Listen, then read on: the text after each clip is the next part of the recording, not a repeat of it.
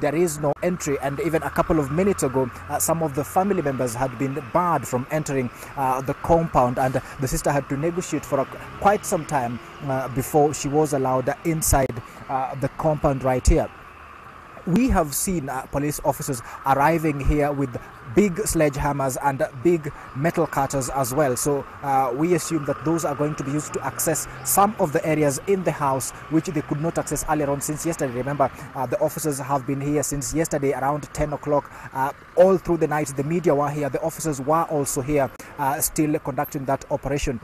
While it is not, still not clear what they are looking for, we understand that uh, the, the, operation here could be closely linked to the one that took place in Malindi uh, in a house alleged uh, to belong to Jimmy Wanjigi, where uh, five guns were found and nearly 100 uh, bullets, 100 rounds of ammunition were found there. So uh, we understand that, that the operation there is linked to closely what is happening here.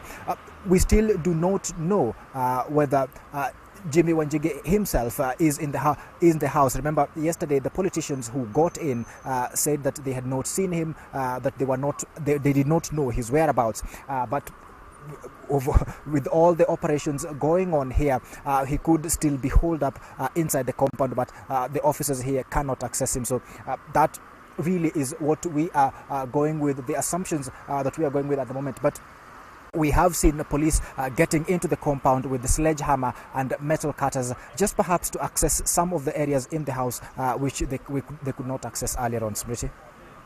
Andrew, give us a sense of the atmosphere there. Clearly, you mentioned there is a lot of uh, security, but is there um, uh, plenty of tension in the air, or are things relatively calm?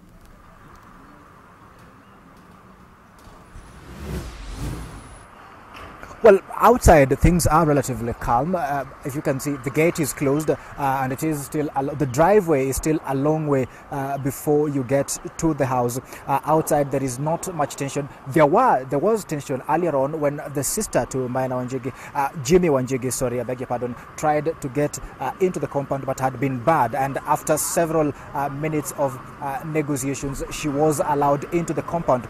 Outside where we are, there is no tension, but inside there are, of course, uh, several members of staff of the home. There are several family members uh, of the home. And of course, there are the police officers who are conducting the operation. Uh, so of course, inside we cannot speculate of uh, the, the, situation inside. All we know is that uh, there is probably the police attempting to execute the search. Uh, this morning we have seen the warrant that that has been circulating on social media uh, but from the police, allowing them to search not just the home here in Muthaiga, uh, but also Jimmy Wanjigi's uh, uh offices at the Caramel uh, Lounge in the ABC place. So they are executing that, that, that warrant that they have. So we do not under, we do not know clearly the situation and the, the tension to speak of inside the compound. Outside here, however, things are relatively calm. We have been barred from going as close to the gate as we went to yesterday. Remember, yesterday, even at the in the night, journalists were allowed allowed inside the compound and could film a lot of what was happening inside. Uh, all through the night, there were armed officers from uh, different uh, contingents of the police just patrolling the compound outside and inside the compound but this morning journalists have not been allowed inside uh, and not much can be said of what is going on inside. But just from what we've seen outside uh, the police getting in with the sledgehammers and the giant uh, wire cutters and padlock cutters are just getting into the compound. Perhaps uh, that those equipment will be used uh, in the operation that they are conducting